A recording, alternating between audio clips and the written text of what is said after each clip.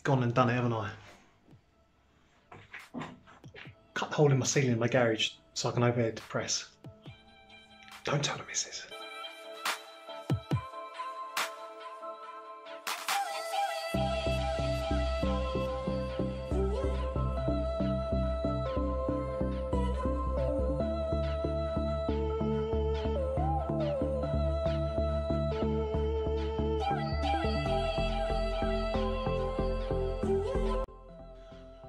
Okay. It's Monday evening. It's week two of my training session. I've snuck back out to my garage because I've decided enough's enough. I've not overpressed, overhead pressed for about two weeks. I told the missus that I've gone to organise my gym a bit, but what I'm actually going to do is make a hole in my ceiling so I can overhead press. Yeah. If you're enjoying these videos, please like and subscribe and tick the notification bell. Uh, I'm really having fun making them, and uh, I'm also experimenting with different sort of slow mo captions and bits and pieces.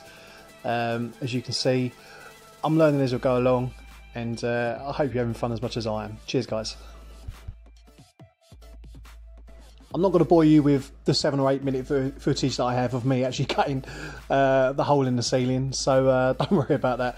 I just thought it'd be funny just to edit and uh, and chuck in some um, footage of myself creating a big old mess and a hole in my ceiling. Um, which, uh, as you can tell by now, my missus obviously found out when uh, I finished and walked in covered in dust, and she asked me a million one questions, and I had to cave, unfortunately. But uh, hey ho, it was fun to do, and uh, at least now I can add overhead press into my program. So there's not much that she can do about it. So let's crack on. From a safety point of view, I did know where all the joists and the crossings were with the high beams to make sure that the ceiling didn't fall down on my head, uh, as I helped actually put the plasterboard up in the first place. So I didn't have any worries or queries in regards to, uh, you know, cutting into any beams or anything like that. So uh, don't worry about that. It's uh, it was all sorted.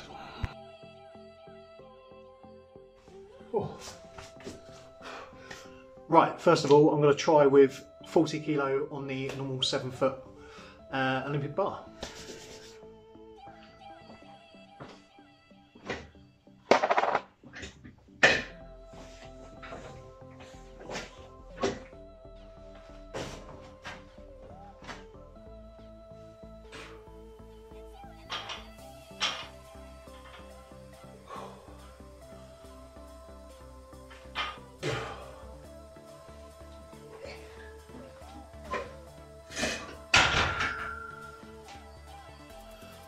Right, let's test the axle bar now.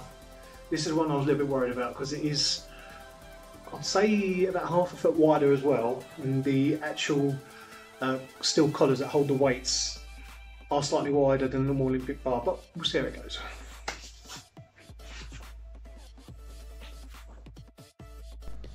Thanks for watching this short video. It was just a bit of fun to make, and uh, I'm just very happy that I can now incorporate some overhead pressing with the axle press and overhead press into the program that I'm going to be running each week. If you've got any issues or queries with it, please let me know and put a comment in the uh, in the comments box. I will get back to you.